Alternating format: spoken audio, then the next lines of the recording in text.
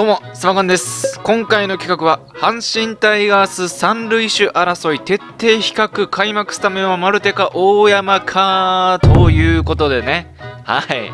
もう今回はもういろんなデータを見まして、もう現在開幕スタメンのサードね、マルテ選手か大山選手か皆さんいろいろ議論されてると思うんですけども、えーこの大山選手とマルテ選手を比較していこうという企画でございます。いやね、多分ファンだけじゃなくてね、新聞記者さんとか監督とかもね、頭悩ませてると思うこの問題なんですけども、これ両方のファンからちょっとね、バッシング受けるんでね、まあ、参考程度にご覧ください、これ。はい、この動画を。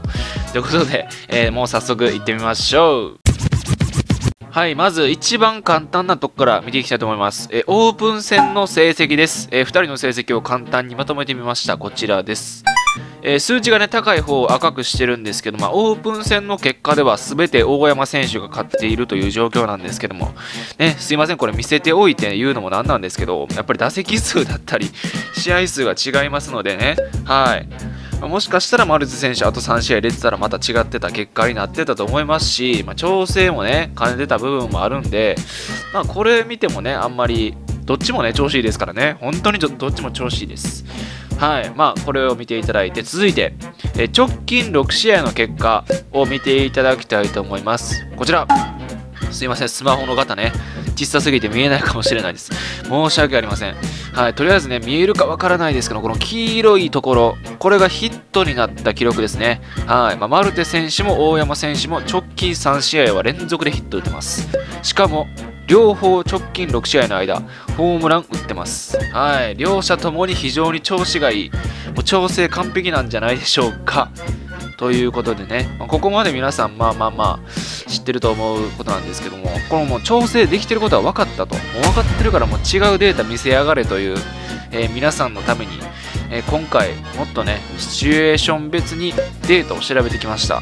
で、えー、とここからの話、注意していただきたいのが、開幕がいつかわからないので、あの現時点での最短の開幕日、4月10日がプロ野球開幕と想定したお話です。えー4月10日にもしも開幕戦となると、阪神甲子園球場で東京ヤクルトスワローズとの開幕戦になります。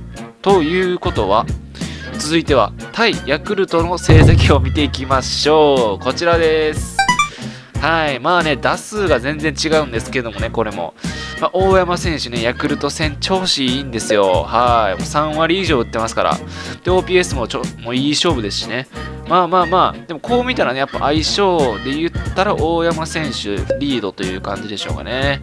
はい。いいですか、皆さん。そして、えー今見てもらったのは2019年の成績なんですけども、えー今年のオープン戦でヤクルトとは2度対戦しているんですよ。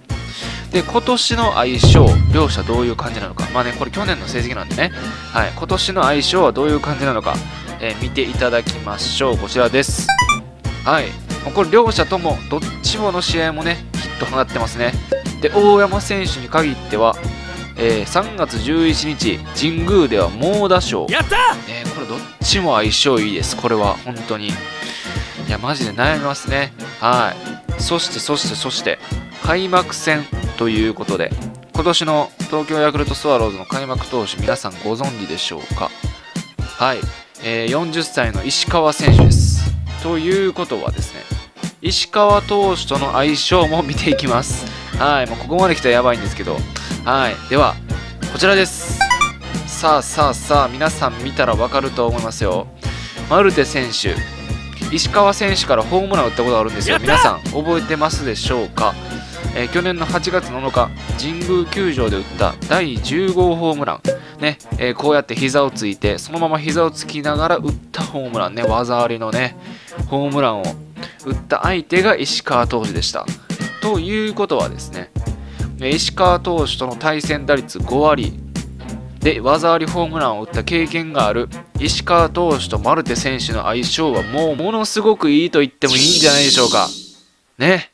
ということで、まあ、ヤクルト戦全体の相性は大山選手、まあ、3割超えてますから。